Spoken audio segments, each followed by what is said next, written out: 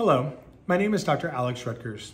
I am the Director of Cleft and Craniofacial Surgery at Johns Hopkins All Children's Hospital.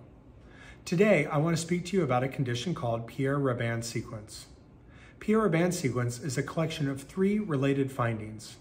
The first of these is called micrognathia, or a small jaw. In babies, that can result in poor support and floppiness of the tongue, or what we call glossoptosis. In patients with glossoptosis, the tongue has the potential to obstruct the airway and cause difficulty breathing. In these babies, corrective jaw surgery is sometimes necessary to address these problems. Not all patients with Pierre-Robin sequence are the same.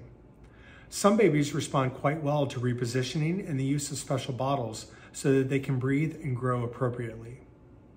Other babies require corrective jaw surgery, feeding tubes, or other surgical procedures to allow them to safely breathe and grow. We pride ourselves on multidisciplinary care at Johns Hopkins All Children's Hospital.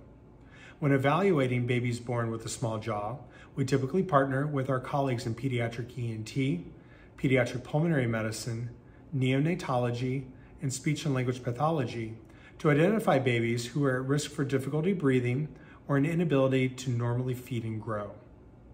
In patients with these problems, we approach them in a team to craft a treatment plan that is optimized for each baby. Sometimes this requires feeding therapy, a temporary or surgically placed feeding tube, corrective jaw surgery, or other airway operations to maximize their ability to breathe. We want you to feel comfortable that we have the best team members for management of these complex newborn babies so that you can so that we can deliver the best results for your child.